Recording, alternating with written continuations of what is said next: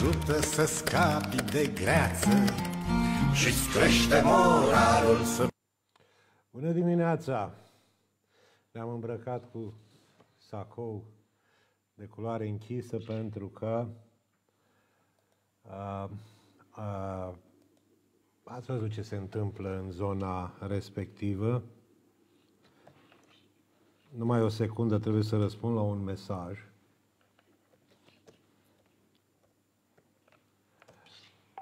Am răspuns. Deci, ați văzut ce se întâmplă în zona uh, respectivă a Ucrainei, mă rog, a Ucrainei era, acum probabil că este a Rusiei.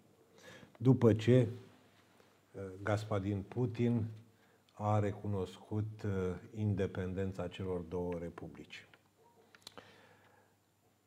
După ce a recunoscut independența, a și semnat un tratat cu ele, ceea ce înseamnă că orice se va întâmpla acolo, pe baza tratatului, el va putea interveni uh, ca să le apere integritatea teritorială. Bun. Acum, oameni buni, despre lucrurile de acolo se poate vorbi în fel și chip. Eu însă aș vrea să vă spun că ar trebui să ne uităm un pic la ceea ce a spus Gaspadin Putin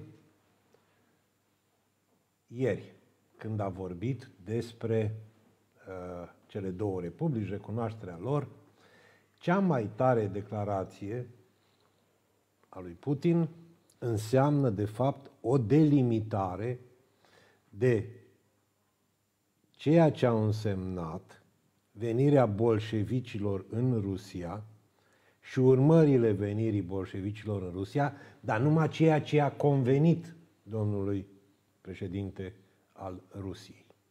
El a spus ceva de genul, domne, Ucraina asta ar trebui să numească Republica Lenin, pentru că este creația lui Lenin și a bolșevicilor. Deci este creația lui Lenin și a bolșevicilor. Foarte bine, Bogdan. Așa trebuie ilustrat. Ceea ce înseamnă că Putin, condamnându-l pe Lenin și pe bolșevici, condamnă, de fapt, dreptul popoarelor la autodeterminare. Nu a tuturor popoarelor, ci a celor care se învecinează cu Rusia. Deci îl condamn pe Lenin pentru că, vezi, Doamne, a creat Ucraina, a creat condițiile pentru crearea Ucrainei. Prin ce?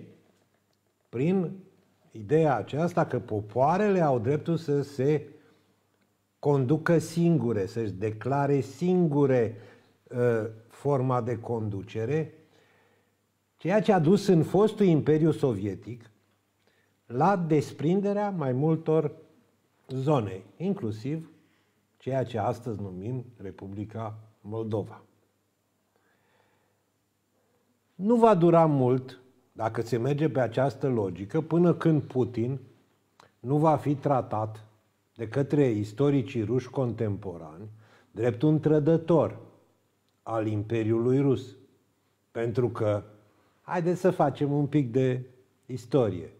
Domnul Lenin, domnul Lenin, tovarășul Lenin, a avut fix aceleași idei ca președintele Statelor Unite ale Americii, Wilson, cu privire la autodeterminarea popoarelor. Tovarășul Lenin a ajuns în Rusia sprijinit, finanțat de către cercuri din zona germană, Elveția, Germania, Ideea acelora a fost să distrugă Imperiul Sovietic, rus, pardon, care era în război la vremea respectivă cu puterile centrale, adică Germania, Imperiul Austro-Ungar. Putin, eh, pardon, Lenin, se confundă de multe ori, Lenin a fost un om strâns legat de cercurile străine, de exemplu, câtă lume își mai aduce aminte că în familia lui Lenin a trăit o domnișoară, doamnă, de o condiție morală ireproșabilă. S-a căsătorit cu cineva, pe urmă a, cu fra- a fugit cu frasul și pe urmă a trăit tot timpul în familia lui Lenin. O chema Inesa Armand, care, numele ei original era Elizabeth Ines Stefan der, Derville, de undeva din Franța. Ideea este că toate aceste lucruri pot să ducă la apariția unui proces împotriva lui Lenin pentru trădarea intereselor imperiale ruse pe care, la care acum se revendică Putin. În momentul în care ataci ideile lui Lenin, te raportezi la perioada respectivă. Perioada respectivă. Și te duci la ce era înainte. Ce era înainte? Imperiul Rus. Nu este de neglijat să privim în urmă, pentru că putem înțelege niște lucruri, ca ceea ce se întâmplă acum. Rusia tot timpul a tânjit după Ucraina și după Belarus și după alte teritorii. A fost umilită prin pacea de la Brest-Litovsk, pace în urma căruia dintr-o dată pierdea Finlanda, țările Baltice, Estonia, Letonia, Lituania, Polonia, o parte, o parte din Georgia, ceea ce se numea districtul Batumi, dacă nu mă înșel, și două părți din fostul Imperiu Turcesc. Deci, toate aceste teritorii le-a pierdut prin pacea respectivă. Bine, după 8 luni de zile a intervenit, s-au schimbat lucrurile, s-a încheiat o altă pace, un alt tratat, dacă nu mă înșel, la Rapalo, s-a revenit asupra unor chestiuni, dar teritoriile astea au fost pierdute. Nu credeți că a fost acolo, ă, teritoriile astea, dacă au fost pierdute de ruși, au fost independente dintr-o dată? Nu. Marile puteri, Germania, Austro-Ungaria, care era în disoluție la vremea aia, dar încă semna tratate, au impus niște prințișori acolo, germani, pentru o perioadă de timp, că după aceea, într-adevăr, țările astea și-au obținut independența. Pe ce bază? A principiului autodeterminării națiunilor, promovat de Lenin și de Wilson. Și pe urmă preluat și în cartea ONU, etc., etc., etc., etc. Deci, Rusia a pierdut aceste teritorii. Lucrurile au evoluat, dar nu s-au schimbat în mod esențial. De exemplu, câtă lume își mai aduce aminte că, la un moment dat, timp de vreo 2 ani de zile, pe teritoriul Ucrainei de acum, al Belarusului, a fost un război, de fapt au fost două războaie, unul civil și unul care a fost cunoscut în istorie sub numele de războiul ruso-polonez. Deci a doua Republică Poloneză, cred să nu greșesc, că na, mai pot greși, că nu mai stau cu... Condusă de un militar polonez, a considerat atunci pe fondul slăbiciunii Rusiei după război că poate crea un mic, să-i spunem, imperiu polonez. Și a declanșat ceea ce s-a numit războiul ruso-polonez. Acești uh, domni polonezi își imaginau un stat format din Belarus, Ucraina, Polonia, evident, care să se opună imperialismului sovietic acum, pe de o parte, și celui german, în care sovietele, sovietele făceau zaveră, cum se spune, încercau să preia puterea acolo după război. Și polonezii încercau să creeze un stat având și ei tradițiile să-i spunem semi-imperiale. Mă rog, au avut regi, au avut regi mari, au avut teritorii ocupate. Ucraina a făcut parte din Polonia. De aceea, în zona aceasta, va fi tot timpul râcă și scandal. Pentru că, pentru că toată lumea revendică din istorie doar ce i-a convenit. Știți care e culmea ironiei? Ucrainienii se plâng că le este teamă că vor veni cazacii ruși să-i măcelărească. Cazacii fiind populație cunoscută pentru, mă rog, zelul lor războinic, dar asociată Ucrainei, Poloniei din zona, din perioada respectivă. Toate aceste lucruri fac ca acolo să fie tot timpul germenii unor conflicte latente. Uh, țările occidentale ați văzut cum reacționează. America a spus, domne, vom face, vom lua sancțiuni drastice. Nimeni care va investi, niciun investitor din zonele respectivelor celor două republici nu va putea să facă afaceri, mă rog, cu Statele Unite, nu vor fi recunoscuți. Deocamdată Europa discută, face, vede, așteaptă să vadă. Ce așteaptă, nu știm. Haideți să lăsăm un pic istoria deoparte și să ne ducem la noi. Să venim la noi. Cum ne afectează pe noi lucrurile astea? Păi, România este pregătită de război.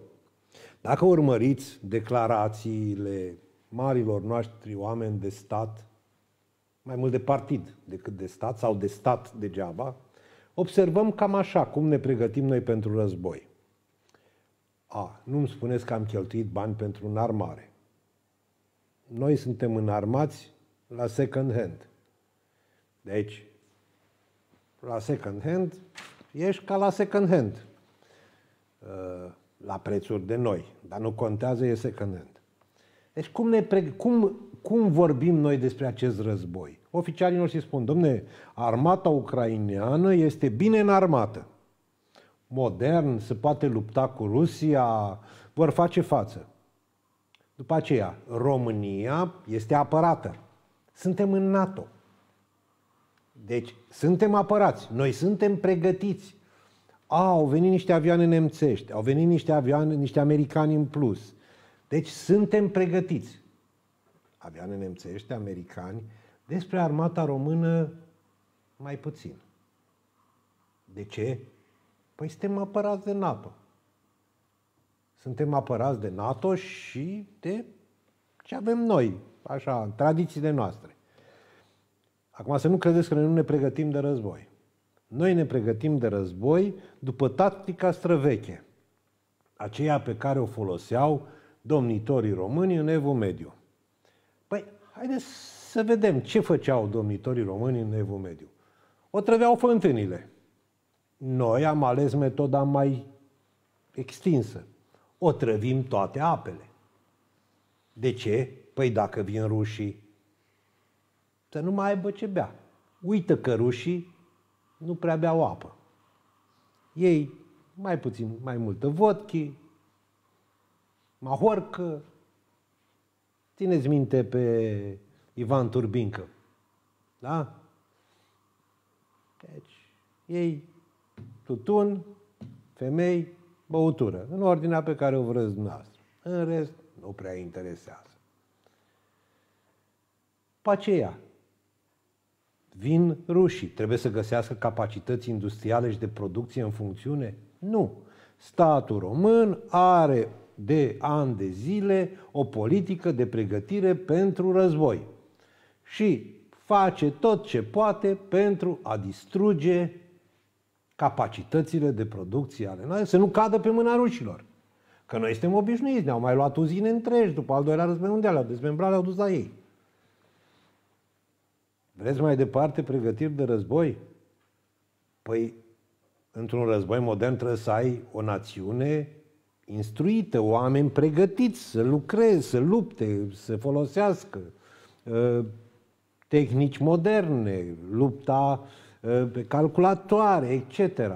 Noi ne pregătim din nou pentru război, ca să nu deranjăm foarte tare, uităm să ne mai pregătim populația la școală, acolo, din clasele primare. Avem grijă să nu ne umflăm prea tare noi cu intelectualii români. Și mi-aduc aminte acum de celebra scrisoare a treia cu, iată, vine un sol de, pla- de pace, Vladimir privind la dânsul, îl întreabă cu dispreț. Cine ești tu? Ah, Ciolacu, maladieț, maladieț, treci la stânga. Cine ești tu? Nu te văd bine. Ah, Câțu. Câțu. Treci la dreapta.